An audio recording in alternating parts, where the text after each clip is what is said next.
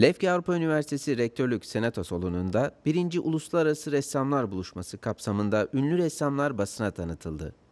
Toplantıda Kıbrıslı ünlü ressam Feridun Işıman, konuk ressamlar, LAU Basın ve Halkla İlişkiler Müdürü İsmet Gücefer, LAU Kurumsal İletişim Müdürü Mehmet Günkut, LAU TV ve birçok basın kuruluşu hazır bulundu. Değerli konuklar, hoş geldiniz. E, Lefke Avrupa Üniversitesi 1. Uluslararası Sanat Sempozyumu'nun e, basın tanıtım toplantımına hoş geldiniz tekrar. Feridun Işıman konuşmasında konuk ressamların tanıtımına yer vererek yapılacak olan 1. Uluslararası Ressamlar Buluşması programı hakkında bilgiler aktardı. Sanatçılarımızın tümü bizim Lefke Avrupa Üniversitesi 1. Uluslararası Sanat Tem Ressamlar Buluşması'na katılan sanatçılarımızın hepsi e, ülkelerinde ve sanat ortamında e, çok tanınmış ustalar ve dünyaca ünlü sanatçılar. E, o nedenle onları ben öncelikle size sunmak istiyorum. Vesela Stamenova Bulgaristan'dan,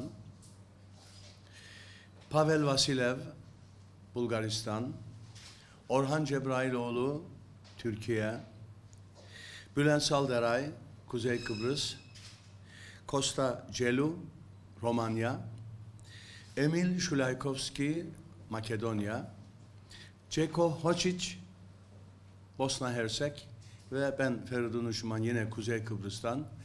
Ee, sekiz sanatçı, altı ülke, ee, birlikte çalışacağımız bir ortam hazırlanmıştır Lefke Avrupa Üniversitesi kampüsünde.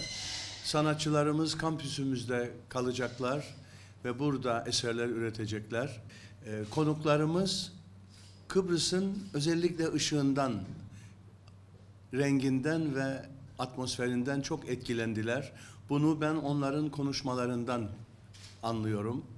Ee, o nedenle bu etkinliğin e, çok verimli ve üniversitemiz içinde kalıcı sanat eserlerinin üretileceği bir ortam olacağına yürekten inanıyorum. Feridun Işıman konuşmasını şöyle sürdürdü. Ee, basın mensuplarına özellikle çok teşekkür ediyorum. Çünkü günümüzdeki basının maalesef ilgi gösterdiği konular çok farklı. Sanat bunların çok gerisinde kalmaya mahkum gibi görünüyor adamızda. Oysa e, ülkemiz sanatçıları e, çok yoğun uluslararası etkinliklerle ülkemizi temsil etmektedirler. E, dileğim televizyonlarımızın, yazılı basınımızın sanatçılarımızı, sanat etkinliklerimizi şu an Lefke Avrupa Üniversitesi'nde olduğu gibi takip etmeleri ve bunu bu konuları, bu olayları, gerçekten güzel barışçıl olayları basına duyurmaları ve basın vasıtasıyla, televizyon vasıtasıyla toplumumuza duyurmaları. Çünkü sadece aktualite veya politik olaylar değil, ülkemizin bir de sanat yönü var.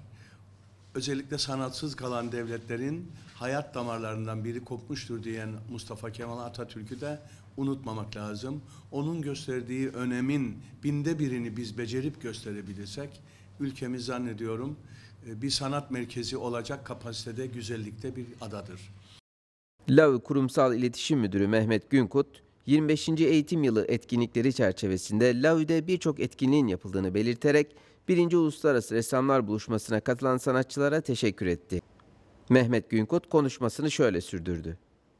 Ee, bizler için bir ilk ve az önce Sayın Feridun Hocam'ın da bahsettiği gibi sürekliliği gelecek olan bir etkinlik olacağına inanıyoruz.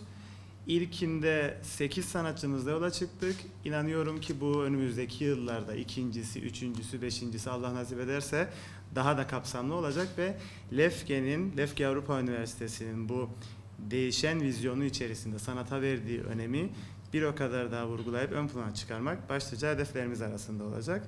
Dolayısıyla Sayın Feridun Hocamı ve gelen tüm ekipleri buradan tebrik ediyorum. Değerli sanatçılarımızı.